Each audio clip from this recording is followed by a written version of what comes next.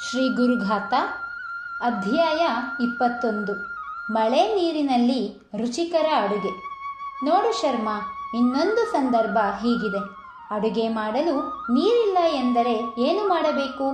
ಪಾಮರರಾದ ನಮಗೆ ಅದು ಸಮಸ್ಯೆ. ಶ್ರೀ ಗುರುಗಳಿದ್ದರೆ ಸಮಸ್ಯೆ ಓಟ ಕೀಳುತ್ತದೆ. ಅಡುಗೆಗಾಗಿ ಗಂಗಾವತರಣ. ಈ ಘಟನೆಯ ವಿವರವನ್ನು ಆಲಿಸು. ನಾಗಣ್ಣ, ಎಲ್ಲಿಯವರೆಗೆ ನಮ್ಮ ಮನಸ್ಸು ಪ್ರಕ್ಷುಬ್ಧಗೊಳ್ಳುತ್ತಲೇ ಇರುತ್ತದೋ ಅಲ್ಲಿಯವರೆಗೆ ನಾವು ಅಪ್ರಬುದ್ಧರೇ ಸರಿ. ಮನಸ್ಸನ್ನು ಸದಾಕಾಲ ಶಾಂತವಾಗಿಟ್ಟುಕೊಳ್ಳುವುದರಲ್ಲಿಯೇ ಪರಮಾರ್ಥದ ಸಾಧನೆ ಅಡಗಿದೆ. ಎಲ್ಲ ಮಹಾತ್ಮರು ಶಾಂತಿಯ ಮೂರ್ತರೂಪವಾಗಿರುತ್ತಾರೆ. ಹೊರಗಿನ ಪರಿಸ್ಥಿತಿಗಳು ಬಾಧಿಸುವುದು ಲೌಕಿಕರಾದ ನಮ್ಮನ್ನು ಮಾತ್ರ. ಒಮ್ಮೆ ಗುರುಗಳು ಇದ್ದ ಮನೆಯಲ್ಲಿ ಕುಡಿಯುವ ನೀರಿನ ತೊಂದರೆ ಉಂಟಾಯಿತು. ಆ ವೇಳೆಗಾಗಲೇ ಮಧ್ಯಾಹ್ನ ಸರಿದು ಹೋಗಿತ್ತು. ಅಡುಗೆಗೆ ಮತ್ತು ಬಂದಿರುವ ಭಕ್ತಾದಿಗಳು ಕುಡಿಯಲು ನೀರಿನ ವ್ಯವಸ್ಥೆಯಾಗಬೇಕಿತ್ತು. ಗುರುದರ್ಶನಕ್ಕೆಂದು ಸಾಕಷ್ಟು ಭಕ್ತರು ಬಂದು ಕುಳಿತಿದ್ದರು. ಒಬ್ಬ ಭಕ್ತನು ಬಂದು ಪರಿಸ್ಥಿತಿಯನ್ನು ಗುರುಗಳಿಗೆ ಅರಿಕೆ ಮಾಡಿಕೊಂಡನು. ಆಗ ಗುರುವರಿಯರು, ಏನೂ ಯೋಚನೆ ಮಾಡಬೇಡ, ವ್ಯವಸ್ಥೆಯಾಗುತ್ತದೆ, ಎಂದರು. ಹೊರಗಡೆ ಬಿರು ಬಿಸಿಲು ಇತ್ತು. ಗುರುಗಳು ಆ ಕಡೆಗೆ ಒಮ್ಮೆ ನೋಡಿ ಒಂದೆರಡು ನಿಮಿಷಗಳ ಕಾಲ ಮೌನವಾಗಿ ಕುಳಿತರು. ಎಲ್ಲಿತ್ತೋ ಮಳೆಯ ಮೋಡಗಳು, ಅವೆಲ್ಲ ಬಂದು ಜಮಾಯಿಸಿದವು. ಧಡಧಡನೆ ಮಳೆ ಸುರಿಯಲಾರಂಭಿಸಿತು. ಐದು ನಿಮಿಷ ಕಳೆಯಿತು. ಮಳೆ ಕಡಿಮೆಯಾಗುವ ಯಾವ ಲಕ್ಷಣಗಳೂ ಕಾಣಲಿಲ್ಲ. ಆಗ ಗುರುಗಳು ಸೇವಾನಿರತ ಭಕ್ತರನ್ನು ಹತ್ತಿರಕ್ಕೆ ಕರೆದು ಮೆದುದನಿಯಲ್ಲಿ ಜೋರಾಗಿ ಬೀಳುತ್ತಿರುವ ಸೂರು ನೀರನ್ನು ಪಾತ್ರೆಗಳಲ್ಲಿ ಹಿಡಿಯಿರಿ ಎಂದರು. ಅದೇ ರೀತಿ ಮಳೆ ನೀರನ್ನು ಪಾತ್ರೆಗಳಲ್ಲಿ ಶೇಖರಿಸಿದ್ದಾಯಿತು. ಆಗ ಗುರುಗಳು ಒಳಗೆ ಬಂದು ನೀರು ತುಂಬಿದ್ದ ಪಾತ್ರೆಗಳನ್ನು ನೋಡಿ ಬೇಗ ಬೇಗ ಅಡುಗೆ ಮಾಡಿ ಎಂದು ಭಕ್ತರಿಗೆ ಆದೇಶವಿತ್ತು. ಮತ್ತೆ ತಾವು ಕುಳಿತಿದ್ದ ಕುರ್ಚಿಯಗೆ ಹೋಗಿ ಆಸೀನರಾದರು. ಬಂದಿದ್ದ ಭಕ್ತರು ತಮ್ಮ ಕಷ್ಟ, ಕಾರ್ಪಣ್ಯ, ಆಸೆ, ಆಕಾಂಕ್ಷೆಗಳನ್ನು ಒಬ್ಬೊಬ್ಬರಾಗಿ ಹೇಳಿಕೊಳ್ಳತೊಡಗಿದರು. ಅಡುಗೆ ವ್ಯವಸ್ಥೆ ಮಾಡಬೇಕಿದ್ದ ಭಕ್ತರು ಮಳೆ ನೀರನ್ನು ತುಂಬಿದ್ದ ಪಾತ್ರೆಗಳನ್ನು ಗಮನಿಸಿದರು. ಗುರುಕೃಪೆಯಿಂದ ಅದು ಶುದ್ಧವಾದ ನೀರಾಗಿತ್ತು. ಒಂದು ಅಂದಾಜಿನಲ್ಲಿ ಅಡುಗೆ ಸಿದ್ಧಪಡಿಸಿ ಹೊರಗೆ ನೋಡಿದರೆ ಭಕ್ತರ ಸಂಖ್ಯೆ ದೊಡ್ಡ ಪ್ರಮಾಣದಲ್ಲಿತ್ತು. ಮಾಡಿರುವ ಇಷ್ಟು ಅಡುಗೆ ಅಷ್ಟು ಮಂದಿಗೆ ಹೇಗೆ ಸಾಲುತ್ತದೆ ಎಂಬ ಚಿಂತೆ ಸೇವಾ ನಿರತರನ್ನು ಕಾಡತೊಡಗಿತು. ಗುರುಗಳ ಸನಿಹಕ್ಕೆ ಬಂದು ಪಿಸುಮಾತಿನಲ್ಲಿ ಪರಿಸ್ಥಿತಿ ವಿವರಿಸಿದರು. ಏನೂ ಯೋಚಿಸಬೇಡಿ. ಎಲೆ ಹಾಕಿ, ನಾನು ಇಲ್ಲೇ ಕುಳಿತಿರುತ್ತೀನಿ. ನೀವು ಬಡಿಸುತ್ತಾ ಹೋಗಿ ಎಂದು ಆದೇಶವಿತ್ತರು. ಸೇವಾನಿರತರು ಎಲೆ ಹಾಕಿ ಊಟ ಬಡಿಸುತ್ತಾ ಹೋದರು. ಬಂದ ಎಲ್ಲ ಭಕ್ತರು ಹೊಟ್ಟೆ ತುಂಬ ಊಟ ಮಾಡಿದರು. ಬಳಸಿದ ನೀರಿನ ಮಹಿಮೆಯೂ ಸೇರಿ ಭೋಜನವು ತುಂಬ ರುಚಿಕರವಾಗಿತ್ತು. ತಯಾರಿಸಿದ ಶಿಷ್ಯರಿಗೂ ಅಡುಗೆ ಉಳಿದಿತ್ತು ಯಾರೊಬ್ಬರೂ ಹಸಿದಿರದಂತೆ ಎಲ್ಲರಿಗೂ ಊಟವಾಯಿತು. ಶ್ರೀ ಬ್ರಹ್ಮಚೈತನ್ಯ ಮಹಾರಾಜರು ಶ್ರೀ ಬ್ರಹ್ಮಾನಂದ ಮಹಾರಾಜರನ್ನು ಅನ್ನಪೂರ್ಣೇಶ್ವರಿ ಎಂದು ಆಗಾಗ ಕರೆಯುತ್ತಿದ್ದರೆಂದು ಪ್ರತೀತಿ. ಬ್ರಹ್ಮಾನಂದರಿದ್ದ ಜಾಗದಲ್ಲಿ ಅತ್ಯಾಶ್ಚರ್ಯಕರವಾಗಿ ಅನ್ನ ಸಮೃದ್ಧಿಯಾಗುತ್ತಿತ್ತು. ಈಗಲೂ ಬಹಳ ಮಂದಿ ಭಕ್ತರು ತಮ್ಮ ಮನೆಯ ಅಡುಗೆ ಕೋಣೆಯಲ್ಲಿ ಶ್ರೀ ಬ್ರಹ್ಮಾನಂದರ ಭಾವಚಿತ್ರ ಹಾಕಿರುತ್ತಾರೆ. ಗುರುತತ್ವ ಮತ್ತು ಅನ್ನಪೂರ್ಣೇಶ್ವರಿ ತತ್ವ ಎರಡೂ ಒಂದೇ. ಮಾತೃವಾತ್ಸಲ್ಯದ ಮಹಾನಿಧಿಯೇ ಗುರುವರ್ಯರು. ಅಂತಹ ಗುರುವರ್ಯರ ಸಾಮೀಪ್ಯ ಪಡೆಯುವ ಭಕ್ತರೇ ಭಾಗ್ಯವಂತರು. ಗುರು ಕಾರುಣ್ಯಕ್ಕೆ ಮಿಗಿಲಾದುದು ಬೇರೆ ಏನಿದೆ? ಭಕ್ತರು ಸಂತೋಷಪಟ್ಟಾಗ ಅವರಿಗೆ ಸಮಾಧಾನ. ಗುರುಚಿತ್ತದಂತೆಯೇ ಸತ್ಕಾರ್ಯಗಳು ನಡೆಯುತ್ತವೆ. ಶ್ರೀ ಗುರುನಾಥರಿದ್ದಡೆ ಸಮೃದ್ಧಿಯೇ ಹೊರತು ಕೊರತೆ ಎಂಬುದಿರುತ್ತಿರಲಿಲ್ಲ. ಅನ್ನ ಸಮೃದ್ಧಿಯಂತೆ ಶ್ರೀ ಗುರುಗಳ ಸಮ್ಮುಖದಲ್ಲಿ ಕಾಫಿಯೂ ಸಮೃದ್ಧಿಯಾಯಿತೆ. ಅದೂ ಆಯಿತು.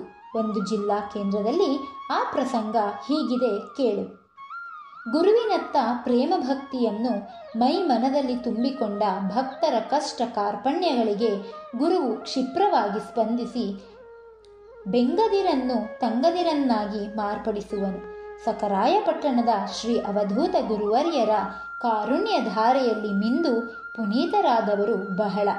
ಅಂತಹ ಕಾರುಣ್ಯ ಧಾರೆಯಲ್ಲಿ ಮಿಂದವರ ಪ್ರಸಂಗವಿದು. ಜಿಲ್ಲಾ ಕೇಂದ್ರದಲ್ಲಿದ್ದ ಗೃಹಿಣಿಯೋರ್ವಳು, ಆದಿಗುರು ಶ್ರೀ ದತ್ತಾತ್ರೇಯರಲ್ಲಿ ಅಪರಿಮಿತ ಭಕ್ತಿಯುಳ್ಳವಳು, ಧ್ಯಾನ ಪಾರಾಯಣಗಳನ್ನು ನಿಯಮಿತವಾಗಿ ಮಾಡುವವಳು, ಅವಧೂತ ಗುರುಗಳಲ್ಲಿ ದೃಢ ನಂಬಿಕೆಯುಳ್ಳವಳೂ ಆಗಿದ್ದಳು. ಅಲ್ಲಿನ ಶ್ರೀ ಶಂಕರ ಮಠಕ್ಕೆ ಯತಿವರೇಣಿಯರು ಆಗಮಿಸಿದ್ದರು. ಸಕರಾಯಪಟ್ಟಣದ ಗುರುವರಿಯರು ಅಂದು ಮಧ್ಯಾಹ್ನ ಮೂರು ಗಂಟೆ ವೇಳೆಗೆ ಅಲ್ಲಿಗೆ ಆಗಮಿಸಿ ಮಠದ ಸಭಾಂಗಣದ ಹೊರಭಾಗದ ವಿಶಾಲವಾದ ಮೆಟ್ಟಿಲಿನ ಮೇಲೆ ಕುಳಿತರು. ಸಾಕಷ್ಟು ಮಂದಿ ಗುರುಭಕ್ತರು ಅವರೆದುರಿನಲ್ಲಿ ಬಂದು ಕುಳಿತರು. ಆಗ ಓರ್ವ ಗೃಹಿಣಿಯನ್ನು ಹತ್ತಿರ ಕರೆದು ದತ್ತ ಭಕ್ತಳಾದ ಆ ಗೃಹಿಣಿಯನ್ನು ಕರೆದುಕೊಂಡು ಬರಬೇಕೆಂದು ತಿಳಿಸಿದರು.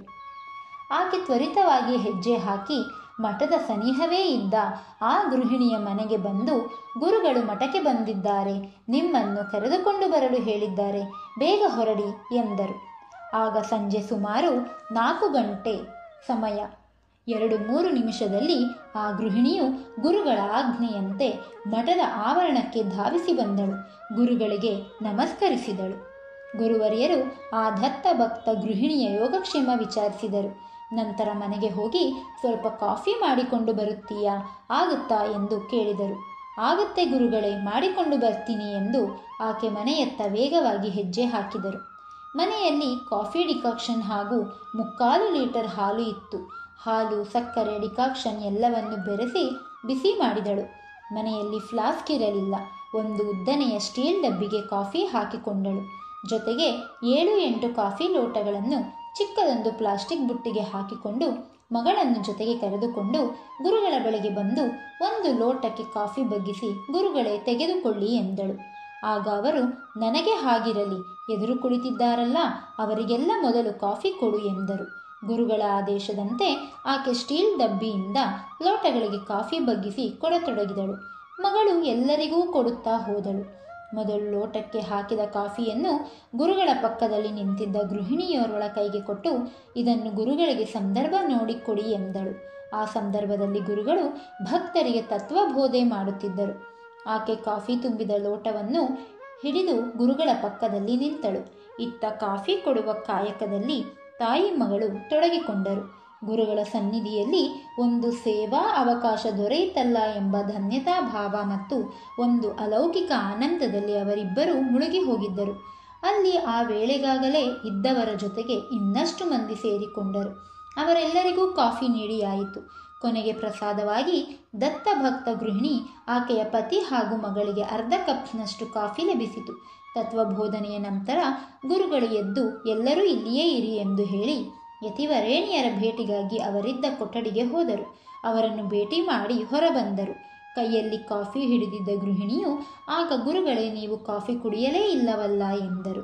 ಸರಿ, ಕೊಡಮ್ಮ ಎಂದು ಗುರುಗಳು ತಣ್ಣನೆಯ ಕಾಫಿಯನ್ನು ಕುಡಿದರು. ನಂತರ ವಾಹನ ಹತ್ತಿ ಅವರು ಗುರುಭಕ್ತರೊಡನೆ ಹೊರಟರು. ಎರಡು ಮೂರು ದಿನಗಳು ಕಳೆದ ನಂತರ ಆ ಗುರುಭಕ್ತ ಗೃಹಿಣಿಯು ಗುರುಗಳ ಸನ್ನಿಧಿಯಲ್ಲಿ ಕಾಫಿ ವಿತರಿಸಿದ ಪ್ರಸಂಗವನ್ನು ಸ್ಮರಿಸಿಕೊಂಡಾಗ ರೋಮಾಂಚನವಾಯಿತು. ಮುಕ್ಕಾಲು ಲೀಟರ್ ಹಾಲಿನಲ್ಲಿ ಮಾಡಿದ ಕಾಫಿಯನ್ನು ಎಷ್ಟು ಜನರಿಗೆ ಕೊಡಲು ಸಾಧ್ಯ? ಹೆಚ್ಚೆಂದರೆ ಹತ್ತರಿಂದ ಹನ್ನೆರಡು ಜನರಿಗೆ ಕೊಡಬಹುದು. ಆದರೆ ಆ ದಿನ ಗುರುಗಳ ಸನ್ನಿಧಿಯಲ್ಲಿ ಕಾಫಿಯನ್ನು ಕುಡಿದವರ ಸಂಖ್ಯೆ ಐವತ್ತಕ್ಕೂ ಹೆಚ್ಚಾಗಿತ್ತು.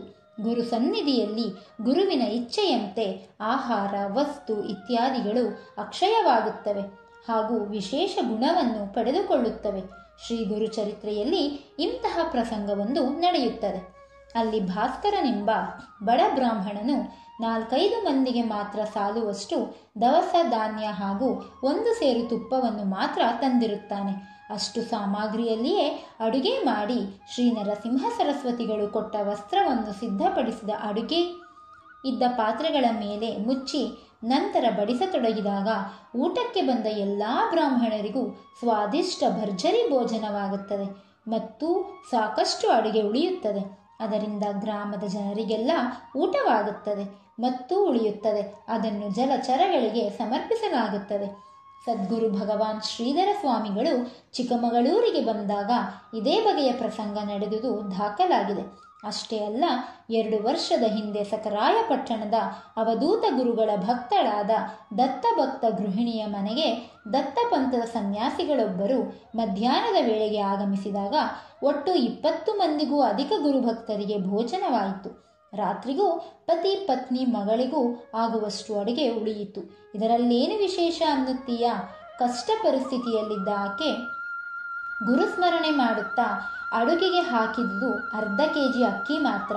ತಾನು ಅನ್ನ ಮಾಡಲು ಹಾಕಿದುದು ಅರ್ಧ ಕೆ ಜಿ ಅಕ್ಕಿ ಎಂಬುದು ಆಕೆಗೆ ಪರಿವೇ ಇರಲಿಲ್ಲ. ಬಂದವರನ್ನೆಲ್ಲ ಊಟಕ್ಕೆ ಎಬ್ಬಿಸಿ ಆನಂದದಿಂದ ಬಡಿಸುತ್ತಿದ್ದರು. ನಂತರ ಇದನ್ನು ಆಕೆ ಸ್ಮರಿಸಿಕೊಂಡು ಅಚ್ಚರಿಪಟ್ಟಿದ್ದು ಮರುದಿನ. ಇಷ್ಟೇ ಅಲ್ಲಪ್ಪ. ಜಗದ್ಗುರುಗಳು ಸಖರಾಯಪಟ್ಟಣಕ್ಕೆ ಬಂದಾಗ ಸಾವಿರ ಸಾವಿರ ಜನ ಭಕ್ತರಿಗೂ ಸಮೃದ್ಧವಾಗಿ ಊಟೋಪಚಾರವಾಗುತ್ತಿತ್ತು. ನಮ್ಮ ಶ್ರೀ ಗುರುವರ್ಯರ ಕೃಪಾ ಕಟಾಕ್ಷವೇ ಅಲ್ಲಿ ಅದ್ಭುತವಾಗಿ ಕೆಲಸ ಮಾಡುತ್ತಿತ್ತು. ಅಡುಗೆ ಮಾಡುವವರು, ಬಡಿಸುವವರು, ಪಾತ್ರೆ ತೊಳೆಯುವವರು ಆಯಾಸವಿಲ್ಲದೆ ಕೆಲಸ ಮಾಡುತ್ತಿದ್ದರು. ಬಂದ ಭಕ್ತರಿಗೆ ಊಟವಷ್ಟೇ ಅಲ್ಲ, ಹಣ್ಣು, ಸಿಹಿ ತಿಂಡಿ, ತೆಂಗಿನಕಾಯಿಯನ್ನು ನೀಡಲಾಗುತ್ತಿತ್ತು. ನಾನು ಕಣ್ಣಾರೆ ಅದನ್ನು ಕಂಡು ಮೂಕ ವಿಸ್ಮಿತನಾಗಿ ಬಿಡುತ್ತಿದ್ದೆ. ಅಂತಹ ಸಮಾರಾಧನೆಯನ್ನು ನನ್ನ ಜೀವಮಾನದಲ್ಲೇ ನೋಡಿರಲಿಲ್ಲ, ನಂತರದಲ್ಲೂ ನೋಡಲಿಲ್ಲ. ಅವಧೂತರ ಸನ್ನಿಧಿ ಎಂದರೆ ಅದು ದತ್ತನ ಸನ್ನಿಧಿ. ದತ್ತನ ಸನ್ನಿಧಿ ಎಂದರೆ ಅನಸೂಯ ಮಾತೆಯ ಸನ್ನಿಧಿ. ಅನಸೂಯ ಮಾತೆಯು ಅನ್ನದಾನದಿಂದ ಭಕ್ತರನ್ನು ಸಂತಸಪಡಿಸುತ್ತಿದ್ದಳು. ಚಂದ್ರದ್ರೋಣ ಪರ್ವತದ ಗುಹೆಯಲ್ಲಿದ್ದ ಆಕೆ ಗುಹೆಯ ಒಂದು ಕಿಂಡಿಯಿಂದ ಕೈ ಚಾಚಿ ಬಂದ ಭಕ್ತರಿಗೆಲ್ಲ ರೊಟ್ಟಿ ದಾನ ಮಾಡುತ್ತಿದ್ದಳು. ಒಬ್ಬ ಕಿಡಿಗೇರಿ ಇದರಲ್ಲೂ ಸಂಶಯಪಟ್ಟು ಅನಸೂಯ ಮಾತೆ ಕೈ ಹಿಡಿದ. ಮಾತೆಯ ಕೈ ಹಾಗೂ ರೊಟ್ಟಿ ಎರಡೂ ಮಾಯವಾಯಿತು. ಅಂದಿನಿಂದ ರೊಟ್ಟಿ ದಾನವೂ ನಿಂತು ಹೋಯಿತು. ಇದು ಒಂದು ಪ್ರಚಲಿತ ಕತೆ. ಆಶ್ಚರ್ಯಕರವಾಗಿ ಅನ್ನ ಸಮೃದ್ಧಿ, ವಸ್ತು ಸಮೃದ್ಧಿ ಆಗುತ್ತಿದ್ದರೆ ಅದನ್ನು ನೋಡಿ ಸಂತೋಷ ಪಡಬೇಕು ಭಗವಂತನ ಶಕ್ತಿಯು ಶ್ರೀ ಗುರುಗಳ ಮೂಲಕ ಪ್ರಕಟವಾಗುತ್ತದೆ ಎಂದು ತಿಳಿಯಬೇಕು. ಶ್ರೀ ಭಗವಂತನ ಸಾಕಾರ ರೂಪವೇ ಶ್ರೀ ಗುರುಗಳು ಭಕ್ತನಲ್ಲದವನ ಮನಸ್ಸಿನಲ್ಲಿ ಮಾತ್ರ ಕೆಟ್ಟ ಕುತೂಹಲ, ಸಂದೇಹ ಇರುತ್ತದೆ. ಇವು ಇದ್ದಾಗ ಮೂಲಕ್ಕೆ ಹೋಗುವ ಯತ್ನ, ಸುಳಿಯ ಆಳ ಕೇಳಿಯುವ ಪ್ರಯತ್ನ ನಡೆಯುತ್ತದೆ. ಇಂತಹ ಪ್ರಯತ್ನದಿಂದ ಪ್ರಾಪಂಚಿಕರಿಗೆ ನಷ್ಟವೇ ಹೊರತು ಗುರುವಿಗೆ ಯಾವ ನಷ್ಟವೂ ಇಲ್ಲ. ಶ್ರೀ ಗುರುಗಳ ಶಕ್ತಿಯು ಅನಂತ ನೀಲಾಕಾಶದ ಶಕ್ತಿ ಇದ್ದಂತೆ. ಅದಕ್ಕೆ ಆದಿ ಅಂತ್ಯಗಳಿಲ್ಲ. ನಂಬಿದವನು ಪಡೆದುಕೊಳ್ಳುತ್ತಾನೆ. ಸಂದೇಹಿಸಿದವನು ಕಳೆದುಕೊಳ್ಳುತ್ತಾನೆ. ಹೋಟೆಲಿಗೆ ತಿಂಡಿ ತಿನ್ನಲು ಹೋದಾಗ ಸುಮ್ಮನೆ ತಿಂಡಿ ತಿನ್ನುತ್ತೇವೆಯೋ? ಈ ತಿಂಡಿಗೆ ಬಳಸಿದ ಅಕ್ಕಿ ಯಾವುದು? ಯಾವ ಅಂಗಡಿಯದು? ಆ ಅಂಗಡಿಗೆ ಮಾರಿದ ಸಗಟು ಮಾರಾಟಗಾರ ಯಾರು? ಅವನಿಗೆ ಅಕ್ಕಿ ಕೊಟ್ಟವರು ಯಾರು? ಎಂದೆಲ್ಲ ತಲೆಕೆಡಿಸಿಕೊಳ್ಳುತ್ತೇವೆಯೋ? ಪ್ರಾಪಂಚಿಕರಾದರೂ ಆಗಿರಲಿ. ಭಕ್ತನಾದರೂ ಆಗಿರಲಿ. ಯಾವ ಸ್ಥಳದಲ್ಲಿ ತನ್ನ ಪಾತ್ರ ಎಷ್ಟು, ತನ್ನ ಕರ್ತವ್ಯ ಎಷ್ಟು ಎಂದು ಅರಿತು ವಿವೇಕದಿಂದ ನಡೆದುಕೊಳ್ಳಬೇಕು. ಮಾನವನು ಪ್ರತಿಯೊಂದು ಸಂದರ್ಭದಲ್ಲೂ ಔಚಿತ್ಯ ಪ್ರಜ್ಞೆ ಹೊಂದಿರಬೇಕು. ಬುದ್ಧಿಶಕ್ತಿಯ ಬಳಕೆಯನ್ನು ಎಲ್ಲಿ ಮಾಡಬೇಕೋ ಅಲ್ಲಿ ಮಾಡಬೇಕು. ಎಲ್ಲೆಡೆಯಲ್ಲೂ ಅಲ್ಲ. ಸುಖಲೋಲುಪ್ತ ಪಾಮರನಿಗೆ ಆಧ್ಯಾತ್ಮಿಕ ಶಕ್ತಿ ಎಟುಕುವುದಿಲ್ಲ ಎಂದು ಸ್ವಾಮೀಜಿ ಮಾತು ಮುಗಿಸಿ ಪಶ್ಚಿಮ ದಿಗಂತದ ಕಡೆಗೆ ನೋಡಿದರು. ಸೂರ್ಯಾಸ್ತಕ್ಕೆ ಸುಮಾರು ಅರ್ಧ ಗಂಟೆ ಉಳಿದಿತ್ತು. ಪಶ್ಚಿಮ ಆಕಾಶದ ಮೋಡಗಳು ಹೊಂಬಣ್ಣದಿಂದ ಕಂಗೊಳಿಸುತ್ತಿತ್ತು ನಸುಕೆಂಪು ಛಾಯೆಯು ಅಲ್ಲಲ್ಲಿ ಹರಡಿಕೊಳ್ಳುತ್ತಿತ್ತು. ಹಕ್ಕಿಗಳ ಸಾಲು ಗೂಡುಗಳತ್ತ ವಾಪಸ್ಸು ಹಾರುತ್ತಾ ಸಾಗಿತ್ತು. ಗುರು ಶಿಷ್ಯರ ಬಂಡಿಯು ವೇಗವಾಗಿ ಮುನ್ನಡೆದು ತರೀಕೆರೆ ಪಟ್ಟಣವನ್ನು ಪ್ರವೇಶಿಸಿತು. ಎಂಬಲ್ಲಿಗೆ ಇಪ್ಪತ್ತೊಂದನೆಯ ಅಧ್ಯಾಯವು ಮುಗಿಯಿತು.